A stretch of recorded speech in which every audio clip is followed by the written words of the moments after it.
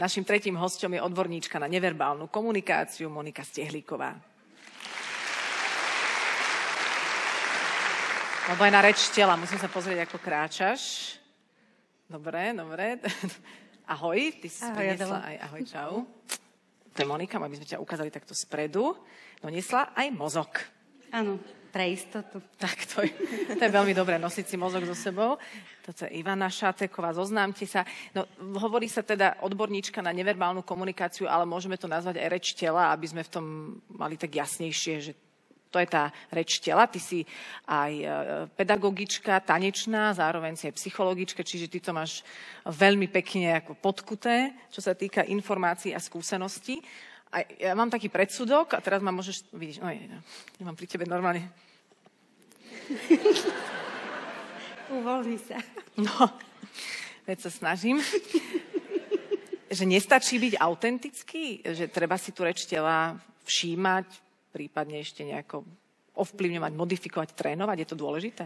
No bolo by prekrásne, ak by stačilo byť autentický a viac menej celá moja práca aj smeruje k tomu, aby ľudia mohli byť autentickí. Mm-hmm. Ale prúser je to, že ľudia ako rastú, tak tie prostredie ich veľakrát ovplyvňujú a nútia ich, aby neboli autentickí. Takže Aha. je aj také heslo, že slušnosť zabíja autenticitu. Mm-hmm. A my chceme, aby napríklad deti boli slušné. Takže musia napríklad sedieť vtedy, keď sa im chce bežať, musia byť ticho vtedy, keď sa im chce kričať, potom by si chceli zanadávať, takže by chceli uvoľniť to telo, ale nemôžu, musia ho stiahnuť a tak ďalej. A to sa tak nabaluje a strácajú vlastne tú možnosť byť sami sebou. Takže oni veľakrát už v dospelom veku a dospelí nie sú autentickí a potrebujú sa k tej autenticite pomaly vracať, potrebujú zistiť, kým oni sú. No a potom sa stane, že túto ľudia sa mi začnú mrviť, budú odchádzať. Ja som rada, že sú takto vycvičení, slušní. Že čo by tá autenticita potom spôsobila? Ale ja ti rozumiem, je to pravda, že sme mnohými vecami okresávaní a akoby dávaní do nejakých vzorcov, a to nie len výchovou, ale aj spoločnosťou. Ešte naši pra, pra, prapredkovia nám nechali niečo geneticky. Máme ešte viac takýchto všelijakých teraz to nazývam pračlovečích stôp v sebe, ktoré sa tiahnú tisíckami rokov, ktoré sa na nás prejavujú? Mm-hmm. Nejaké konkrétne, Jasné. ktoré by si vedela povedať? Jasné, ich tisíce. My sa vlastne hýbeme hodne ako cicavci ešte stále, že my sme vlastne zvieratá v tej svojej podstate. Mm-hmm. A na čom to veľmi ľahko a rýchlo vidno sú napríklad situácie, keď sa dostávame do záťaže, takže buď zamrzame, alebo utečieme z tej situácie, mm-hmm. alebo naopak zautočíme. Takže celá tá plejada reakcií na stres, ktoré sú to, to, tie tri U, tak to je typické pre nás všetkých ľudí naprieč všetkými kultúrami po, po celom svete. A v reči tela sa to prejaví tak, že keď ma to niečo vystraší a ja zamrznem, tak prestanem dýchať, zamrznem, nehýbem sa. A čo to znamená, že ako... Uh historicky hráme mŕtvého? Mm, áno, áno, hráme mŕtvého brovka. Je lepšie pre nás, uh-huh. aby sme neboli videní a počutí, uh-huh. je lepšie na chvíľku zmiznúť a prestanem dýchať vlastne historicky, lebo, lebo potom ten, čo ma ohrozuje, si myslí, že som mŕtva. Áno. Aj keď stojím síce, áno? Áno. Ale mám nádej, Presne. že ma len oňuchá a pôjde ďalej. A pôjde ďalej. Presne tak. My sme fakt zvieratka. A uh-huh. toto s tým môžem spätne niečo robiť, že si napríklad uvedomím ten dých, uvedomím si, už nie som pračlovek, nadýchnem sa. Áno. Áno, zhlboka sa nadýchnem, upravím tú telovú schému a rozpohybujem ju. To znamená, že keď zamrzam, tak dovolím si začať sa trošku hýbať. Keď už vidím, že takto stojím, tak sa nadýchnem a na, aspoň presuniem niečo na stole alebo presuniem sa v tej stoličke. To znamená, urobím nejaký pohyb, uh-huh. aby som to rozpohybovala, to zamrznutie. Alebo keď utekám, tak si poviem, nie, ja chcem byť vpredu, prečo by som mala odtiaľ to utekať, alebo nohy už keby som mala tam. Uh-huh. Tak vedome si ich môžem predsa len vrátiť späť. Že neutekám z tej situácie. Alebo keď napríklad takto sedím, čo je ten uzavretý posed, tak uh-huh. si uvedomím, že asi v tej situácii veľa s tými ľuďmi nezískam, alebo nebude nám spolu príjemne. Uh-huh tak sa tak otvoriť. Inak toto s tým menením polohy asi robievam, keď mám stres, aj počas rozhovoru, keď sledujem, lebo sú, sú situácie, koľkokrát by som aj vy ani neviete, a, a vtedy urobím takéto niečo, takže začínam už sama, samú seba si odhaľovať. Mohli by sme urobiť s týmito dobrými ľuďmi nejaké cvičenie? Ale, to, ale tak ja tak sa postavím. Sa, dobre, ja sa postavím tiež, ja, dobre. Ja vám to môžem Ivanka, posed si pokoj. No tak Ivanka sa tiež... Nemusíš, ako chceš. No, Nechceš, takže že? keď budete stať a keď odtiaľ to pôjdete, tak môj tip na uh-huh. státe a kráčanie, aby ste si začali znova uvedomovať, že máte chvost. A to je, že... Mo, ako ešte raz, prosím? Chvost, že, že máme chvost. A my z kosterče, uh-huh. z kosterče nám ide taký imaginatívny chvost. Niekto ho má taký veľký, húňatý a niekto taký krátučký, rýchly. Podľa toho, či ste Jack Russell, alebo či ste, či ste veverička. Dobre. OK. No. Počkaj, čiže my ideme ešte... A my sme mali chvost niekedy teda vlastne. Mm-hmm. A teraz dobre. je už taký zakrpateľný. Mám si na ňo spomenúť. Dobre? No a keď budeme kráčať, tak len si uvedomte, že máte aj chvost a tá, tá, ten spôsob kráčania sa úplne zmení. Lebo zrazu máme o jednu končatinu viac. No jasné, a hlavne toľko ľudí, keď bude s chvostami odchádzať zo, zo sály, si budú na ne stúpať. Budú... Takže ono to hodne... A ja mám aký chvost? Ja neviem vôbec. Jak to rozlišuješ? Tak to podľa chôdze ja mám aký chvost? to je vnútorná ja mám pocit, že si tak ťahám za sebou. Že... Pozametáš to tu. Jak ja no, teraz si neviem sadnúť. Zase, si mi pripomenula chvost. Ale naozaj to na nás vplýva, keď si predstavíme, že máme chvost? Určite napríklad, keď e, vediem ľudí pri prezentačných zručnostiach a cítia sa nestabilne, že stoja vystavení pred mm. väčším množstvom ľudí, majú ešte stres, tak predstava toho, že majú ďalšiu, ďalší oporný bod s tým chvostom, tak im naozaj pomáha. A akí ľudia k tebe chodia takto na konzultácie? My sme sa dávnejšie rozprávali, no neviem, či to poznáte, to je na tých rodinných oslavách, toto je môj, môj štandardný problém, že všetci ma volajú, že čo si ja nejdem zatancovať, že sa neviem ja uvoľniť. A hrá tam taká hudba a všetci sú v kruhu a robia toto. Dve hodiny. Ale nie viac. A teraz toto robia v kruhu, stále len toto. A ja hovorím, že ale ja mám z toho chuti prísť za nimi a povedať, že prosím vás, sadnite si, na čo sa trápite. Že to je že to je zbytočné takto sa, sa tváriť, že tancujete, lebo tam nie je žiadne uvoľnenie, nič, ale ty si mi k tomu dala pekné vysvetlenie a moja netolerancia ostala uh, utlmená. Že prečo to robíme? Mm-hmm. Ono, to základné je, že sú v kruhu a ono to determinuje celý ten pohyb prečo vlastne ľudia v ňom zotrvávajú tak dlho a nezmenia ten útvar, lebo kruh nemá začiatok a kon, koniec. To je niečo, čo je tak nádherne bez konca. A ten útvar ako sám, sám útvar je veľmi vťahujúci. A ten pohyb horizontálny doprava, doľava, doprava, doľava. Ty to už trošku preháňaš, pravdu povedať, na, na pomery rodinných oslav, ktoré ja poznám.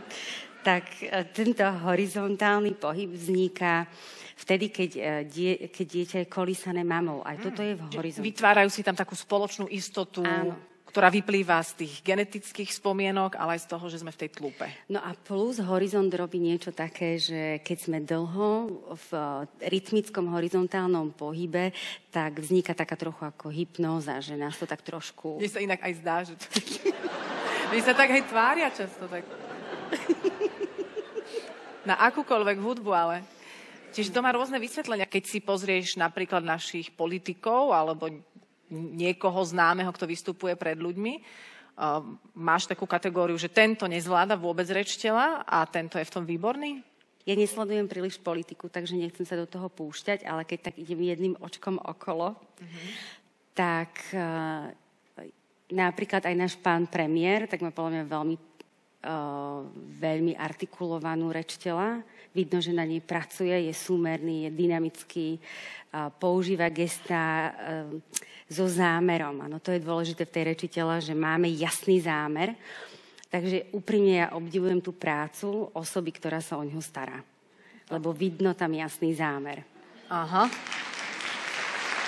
Čiže je to profik z tohto hľadiska. Mm. Opäť opakujem, nehodnotíme tu, kto si čo myslí o žiadnych nejakých politických uh, smerovaniach, ktoré už neviem, ani iné slovo mi nenapadlo.